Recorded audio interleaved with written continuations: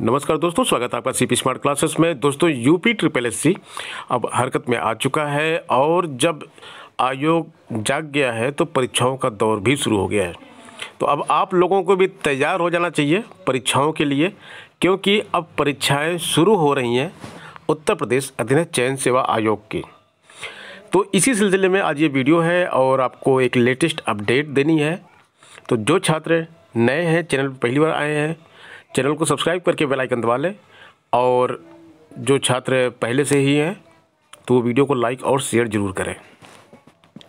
ये देखिए, यहाँ पे इन्फॉर्मेशन है कि आज लखनऊ में से एक नोटिस जारी किया गया है, कार्यालय ज्ञाप दिया गया है 9 फरवरी का। इसमें लिखा है कि विज्ञापन संख्या दो, परीक्षा।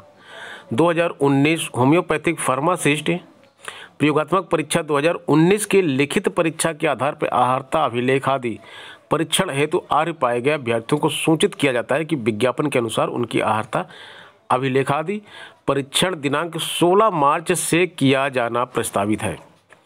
अभ्यर्थियों के आहारता अभिलेख लेखादि परीक्षण हेतु बुलावा पत्र यथा समय आयोग की website UP triple S C dot gov dot in पर उपलब्ध कराए जाएँगे।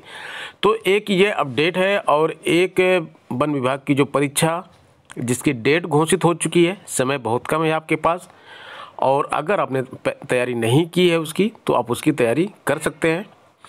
हमारे मोबाइल एप्लीकेशन पर उससे संबंधित बहुत सारा स्टडी मटेरियल है, जो कि फ्री ऑफ़ कॉस्ट है, और अगर आप चाहते हैं कि उसकी रेगुलर क्लास के माध्यम से हम आपकी तैयारी करवाएँ तो कमेंट बॉक्स में कमेंट ज़रूर कीजिएगा। कम से कम दस पंद्रह लोग कमेंट करेंगे तो मैं इसकी क्लास शुरू कर दूँगा। तो सी पी स्मार्ट क्लासेस के नाम से गूगल प्ले स्टोर में आपको हमारा मोबाइल एप्लीकेशन मिल जाएगा, उसको डाउनलोड कर लीजिए, और वहाँ पे अभी जो फ्री स्टडी मटेरियल है, काफ़ी स्टडी मटेरियल है, और डेली क्विज भी होती है तो आप उसमें पार्टिसिपेट कीजिए और उसका लाभ लीजिए। मिलते हैं नेक्स्ट वीडियो में नई अपडेट के साथ। धन्यवाद।